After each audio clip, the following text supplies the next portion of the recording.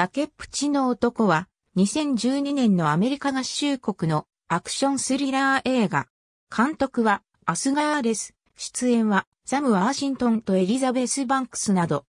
高層ビルから飛び降りようとする男と彼を説得しようとする交渉人の女性刑事とのやりとりの中で男の真の目的が次第に明らかになっていく様を描いている。4000万ドルのダイヤモンドを強奪した罪で刑務所に収監されている元刑事、ニック・キャッシリは元同僚マイク・アッカーマンとの面談で父が既得状態であることを知る。結果、父親は亡くなり、マイクの計らいで葬儀に出席することを許されるが、その場で騒ぎを起こし逃亡する。その後、ニックは J. ウォーカーを名乗ってニューヨークルーズベルトホテルの高層階に部屋を取り、飛び降り自殺を図ろうとする。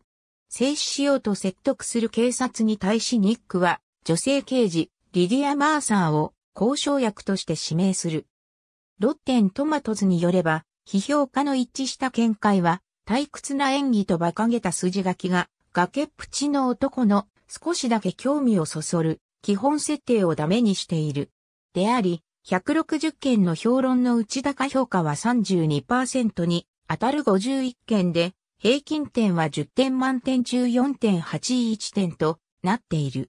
メタクレティックによれば、32件の評論の内高評価は4件、賛否混在は18件、低評価は10件で、平均点は100点満点中40点となっている。ありがとうございます。